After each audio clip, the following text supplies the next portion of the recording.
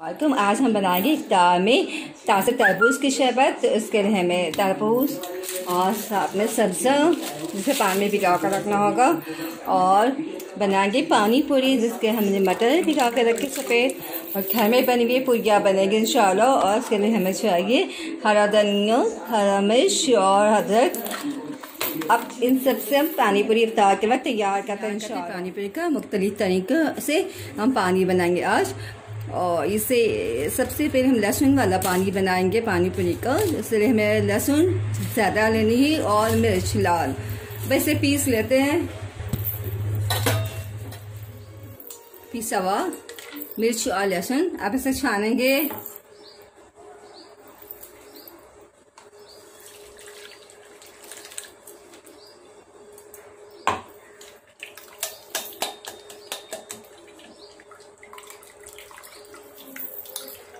ये पानी पूरी का जो चाट मसाला नमक। जैसे काला नमक आता है, वैसे एक नमक आता है, वो। वही है ये।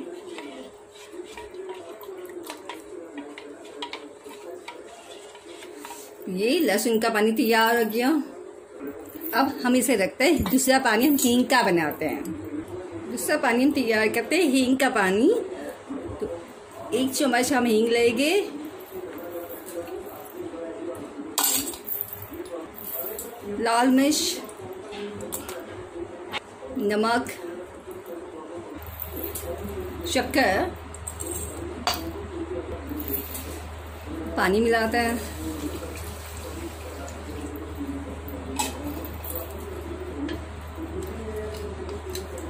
ये हींग का पानी तैयार हो गया।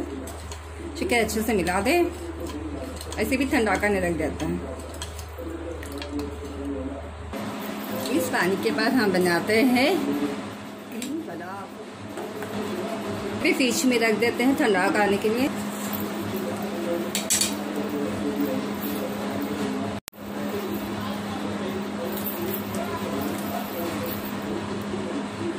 पुदीना, हरा धनिया, हरे मिर्च, छोटी सी अदरक, काला नमक। पत्थर की तरह है वो। इसे भी हम इसे मिक्सर में डाल के पीस लेंगे। चुटकी भर हिंग मिलाएँगे सिर्फ़ हल्का सा। ये है आमचूर पाउडर। भी एक चम्मच मिला दें। अगर आपके पास आमचूर पाउडर घर में मौजूद नहीं है तो आप नींबू भी मिला सकते हैं। नींबू का एक रस मिला दो तो ऐसे ही जायका बन जाएगा। पानी मिला के पीस देते हैं इसे भी। ये जो रेगुलर पानी जो हम हमेशा पानी पूरी में ये मौजूद होती है वही पानी है। इसे भी छानेंगे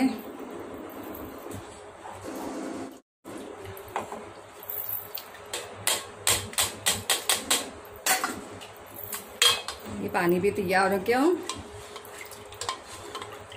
रेगुलर पानी, इसको भी हम ठंडा करने रखते हैं। अगर आपके पास बूंदी, सूखी बूंदी होगी तो वो भी मिला सकते हैं। इमली और गुड़ की चटनी भी पीस चुके हैं। सिर्फ़ इमली और गुड़ मिलाना और कचनी उसे पकाना। अगर गुड़ ना हो तो शक्का भी मिला सकता है।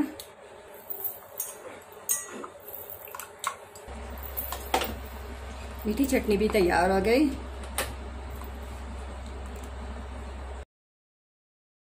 अभी तैयार हो गया हमारा।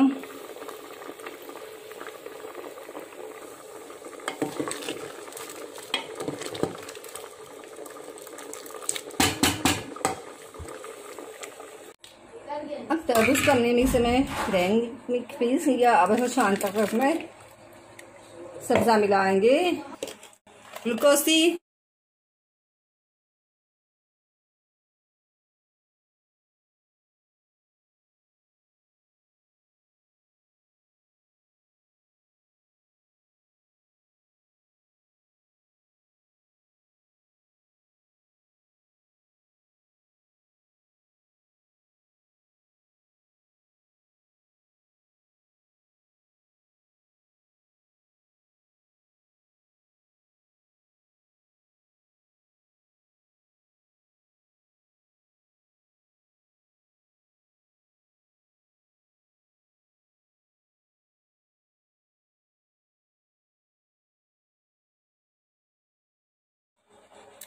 पूरी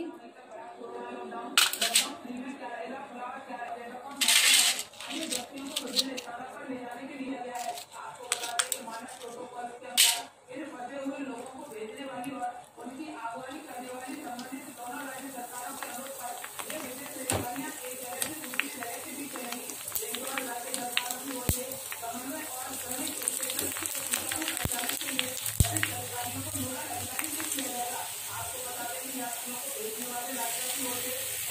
पूरी